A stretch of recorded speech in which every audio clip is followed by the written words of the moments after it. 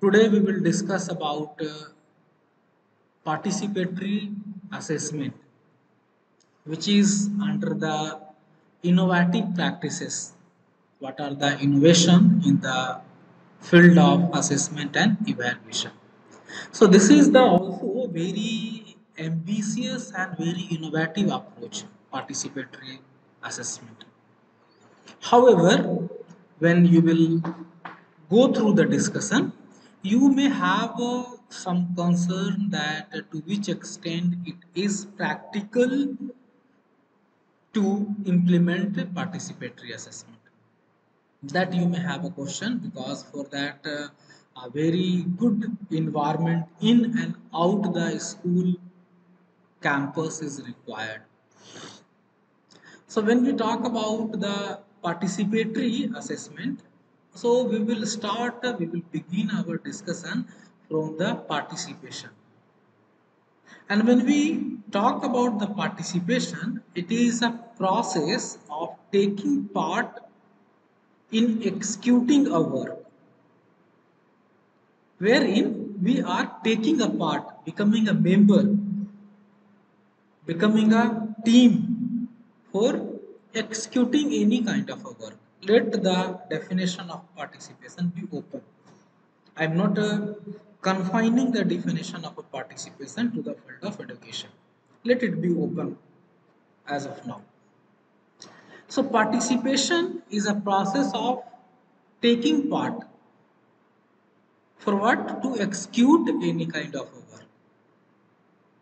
And when we talk about the participation by nature it is a collaborative process.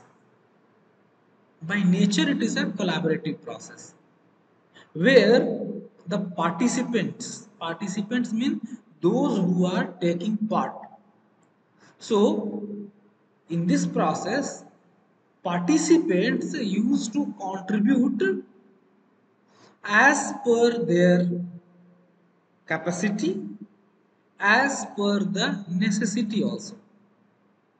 To execute a work and always remember when we talk about the participation it is always based upon the person's capacity. I cannot say that someone come and join me and participate in the dancing program. If the person is not having an interest in the dance or person is not have a skill of dancing. I cannot force them. If it is forcefully done then it won't be a participation. So participation by nature it is a collaborative. And a collaborative when we are, we are talking then it is a process where the person's own interest on capacity on skill will matter so that is the participation, the process where the participants contribute to execute a work.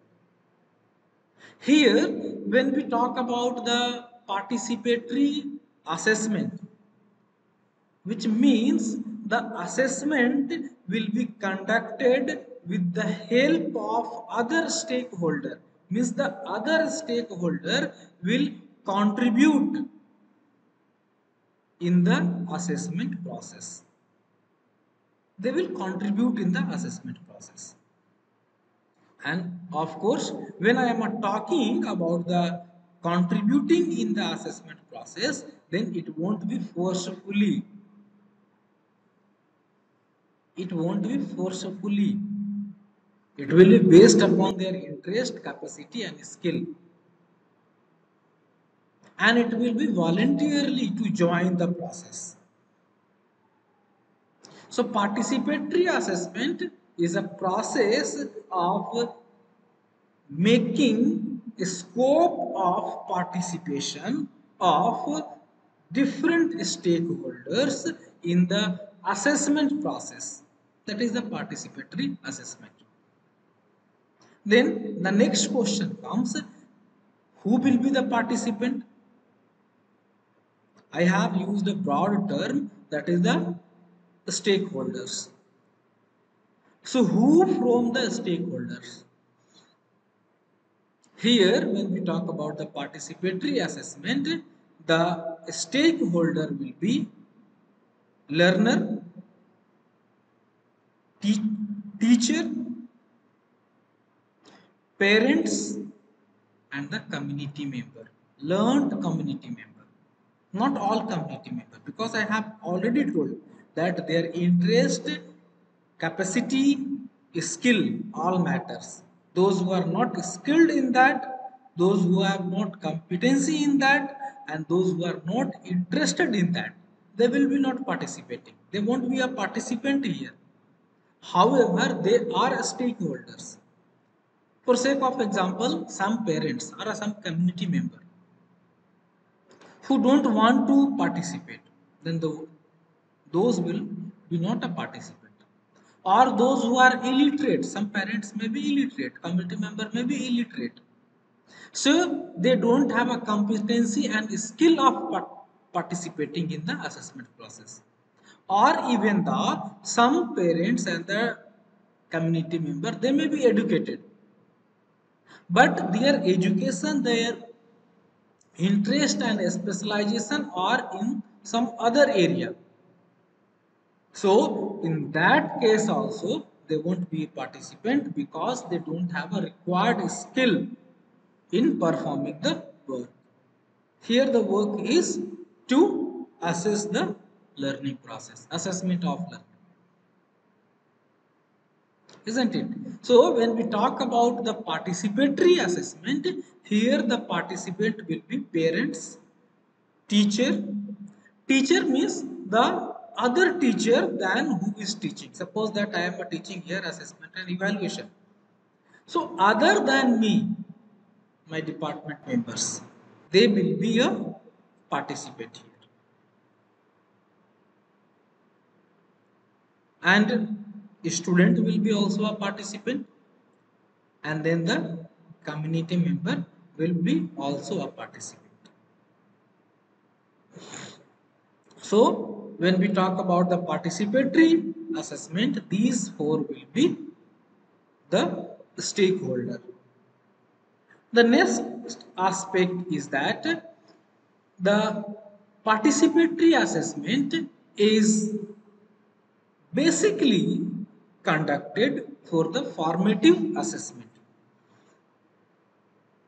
We know that uh, we used to have a two type of assessment in the educational process. One is the formative, another one is the summative. Formative assessment we used to have at a regular frequency, regular interval of a time. And then the summative assessment we used to have at the end of the academic session. And formative assessment is basically focused towards the understanding students, their strength, their difficulty in the learning process. So when we talk about the participatory assessment, so it is basically for the formative assessment process. Then that uh, how we can do the participatory assessment. Again, I will repeat my first sentence that is, it is done by the stakeholder, the participant who are interested, those who have a skill. And the participatory assessment can be used for planning, executing and analyzing the teaching learning process. Planning means what? What kind of a instructional method will be there? What type of uh, resources will be used? What modality of assessment will be adapted? What type of uh, question will be framed and after all the evaluation process evaluation process means the answer sheet, project report, assignment report that will come. That is the evaluating. And here all the stakeholder can contribute and take part into that. Even the teacher can collaborate with the other teacher, student, parents and the learned community member for planning of appropriate method and modality of teaching. So, what kind of a method and modality will be well suited for the student in the teaching learning of that particular concept. And remember, when we talk about the participatory assessment, here all are the participant in the process.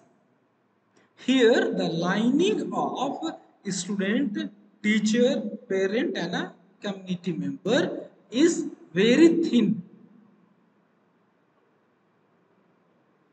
It is not very strong lining. It's a very thin, very narrow. So all are the participant in the teaching learning process.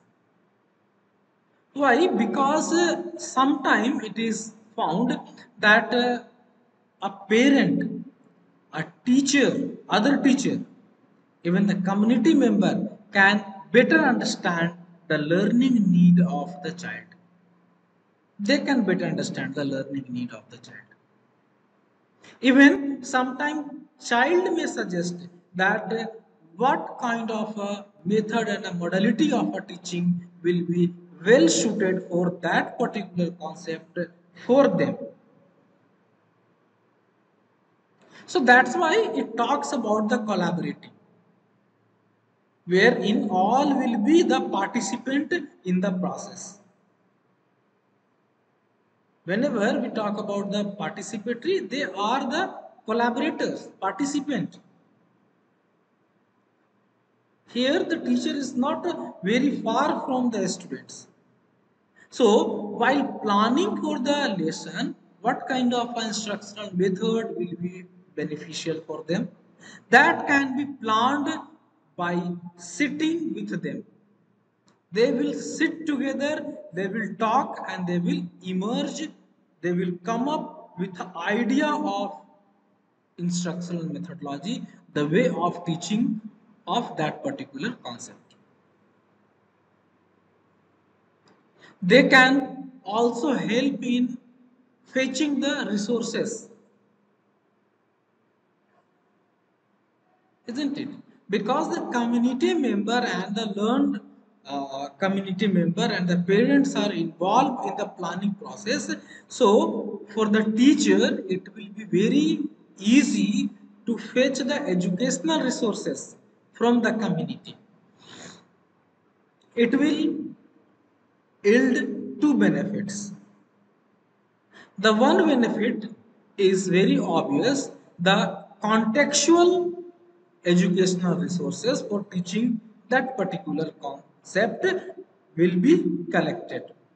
Because we know that the teaching learning process is a social process where in the context and a situation of a learner is emphasized. That plays a major role. So when the community member and the parents are involved in the planning, then it will be very easy to fetch the resources.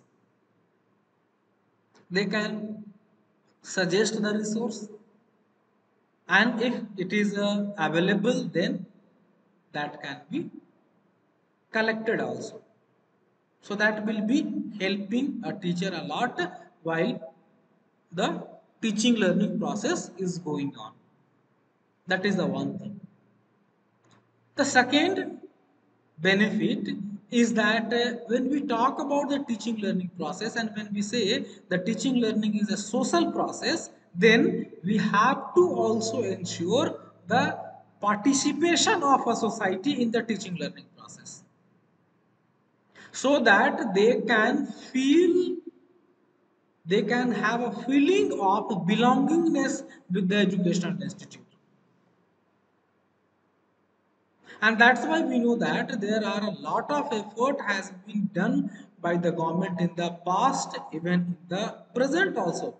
There are a lot of effort being done even when we talk about national education policy 2020 it also talks for ensuring the community participation in the schooling process. That's why we have constituted school management and development committee pta mta and so many committee we have formulated in the schooling process so that their participation can be ensured. So it is a process of ensuring their participation isn't it? That is. So when we collaborate when we allow the participation of community member and the parents in the teaching learning process. Because when we talk about the assessment and evaluation it is an integral part of the teaching learning process. That is not a separate from the teaching learning. So these two major goal can be achieved.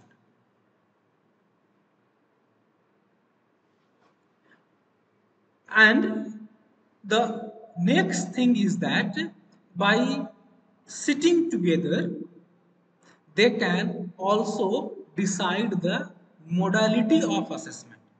Here remember in deciding the instructional method in deciding the educational resources and fetching educational resources even in deciding the modality of assessment all stakeholder including the student will be a member in deciding committee. They will be also sitting there. They can decide that how the assessment can be done what will be the modality of assessment. Even they can prepare a questions also. Then you can ask that if they are involved in the process of framing question then they are knowing the question. So what kind of assessment it will be? Then you remember two things. The one is that it is not like that only five or a six question will be framed and those question will be asked to respond a variety of questions will be framed and collected from the student, community member, different teachers and the parents. And some of the question as per the requirement will be asked. And always remember, several time earlier also I have told you that uh, when you are teaching in the class, Sometimes the student will ask question and he will find this question is a very wonderful question. And that type of a question may be asked in the examination. It's a very wonderful question. Which when you are sitting and framing the question, that idea may not come in your mind. Because you are alone and while framing your own one mind is only working for framing the questions. So in a workshop mode, in a meeting, in a workshop, in a seminar, that kind of a modality can be used to sit all the stakeholder that is the teacher, parents, student and a community member to frame the questions and some of the question will be asked. So that is the it will minimize that the students are knowing the questions and the most important thing is that when we talk about the formative assessment because I have told that it is basically used for the formative assessment. So when we talk about the formative assessment, the formative assessment is inclined towards identifying the students strength and the support that that they are in need of. It is not inclined towards assigning some mark, grade and making them pass and fail. So, when we talk about the participatory assessment and the scope of allowing the community member in framing the questions, so this type of uh, logic will not come in between the process. Student must be also aware of that how the assessment will happen, what is the process of assessment, what kind of a question will come, so that we can reduce the examination phobia and the examination burden that the students are supposed to face and they are facing too. They are facing also. So when we talk about the innovation in the assessment and evaluation, then it is a process, it is a modality to reduce all kind of uh, stigma that is assigned with that. Otherwise, what is the benefit of innovations?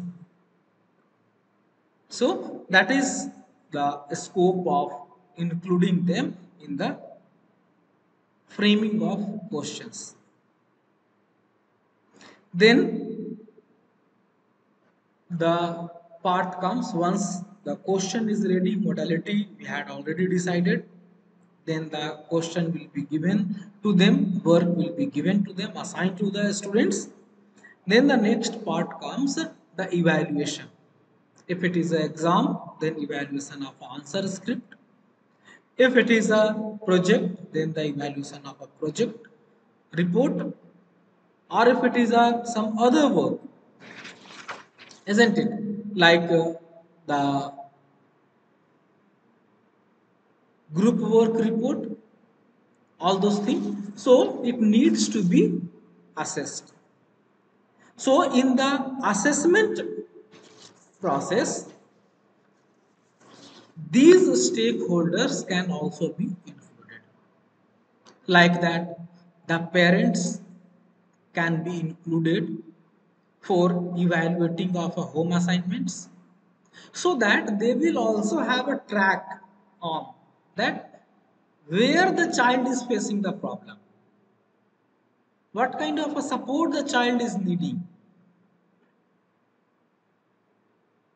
and in which area the child have a strength so that they can nurture that? And where they have a problem then they can support on support on those areas. Then they can also be involved parents and the community member those who are learned and interested community member in evaluating of the project report they can also be involved in evaluating the learning plan, the learning habit, the day-to-day -day habit of a child because these are the area where teacher themselves find a limited role in assessment. However, they have a great implication in the teaching learning process their habit at home, their learning plan, learning habit. These all have a great implication in the teaching learning process. However, teacher here finds themselves a very difficult to assess because the teacher cannot be at a home of every child. So that is the very difficult part wherein the parents can support and the support of a parent can be taken. And that's why it is a innovative in nature.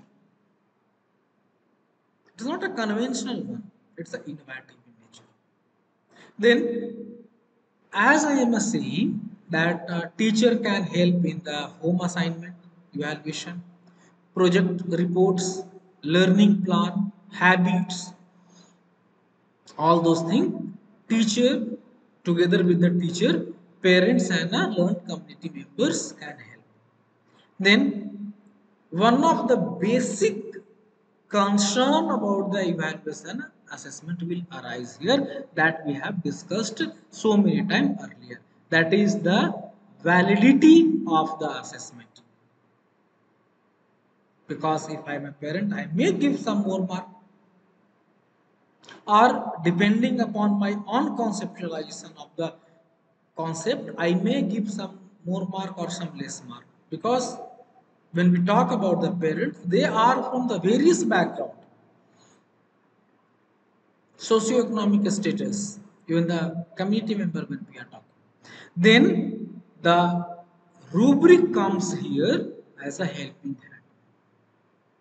And we all know that a rubric is the performance based assessment criteria where the criteria will be fixed for the assessment based upon the label of performance. Based upon the label of performance assessment criteria will be fixed.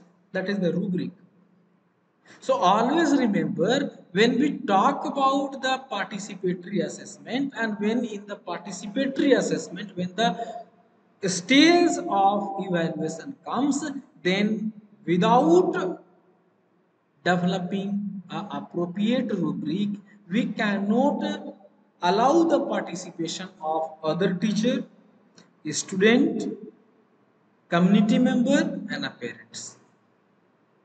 There must be a rubric well before we are inviting them for the evaluation of home assignment, project report, habits, learning plan and the others.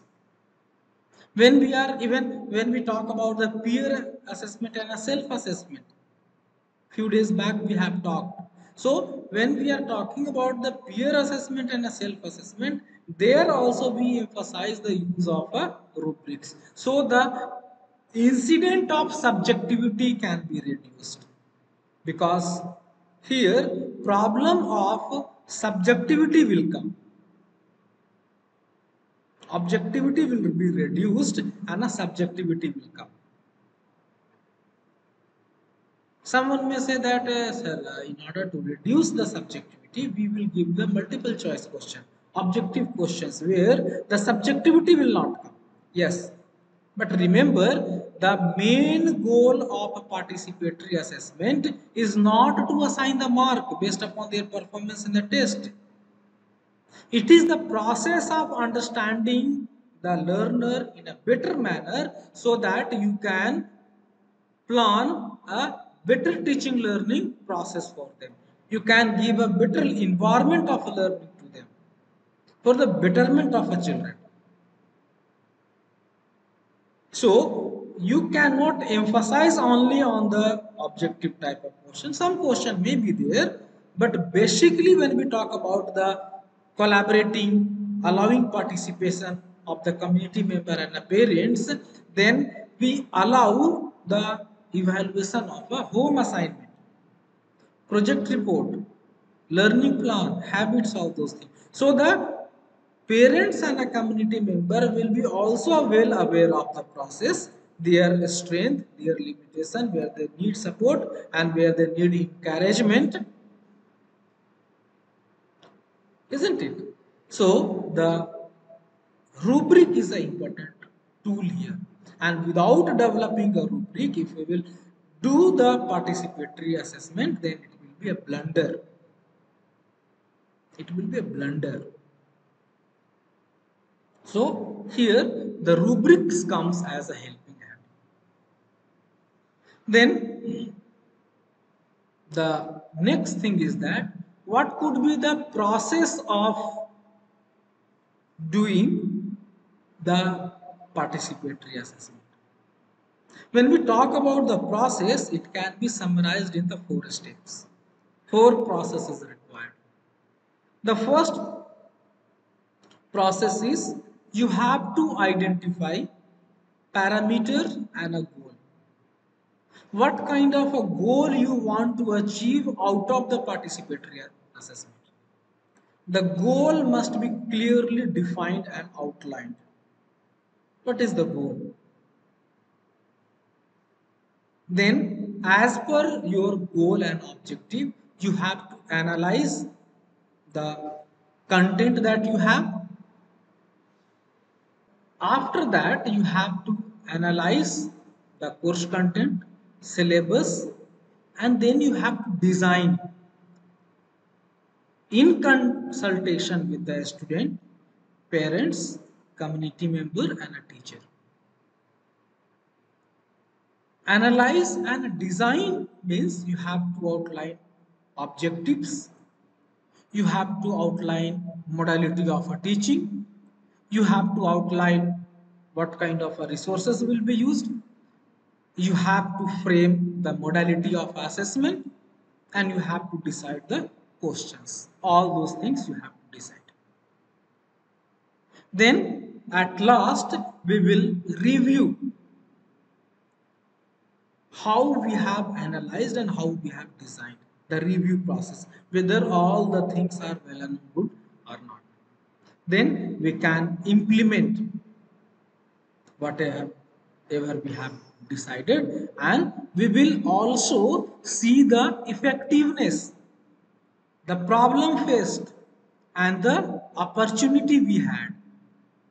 Because when we are innovating something, we must keep track on that what is the effectiveness, what is the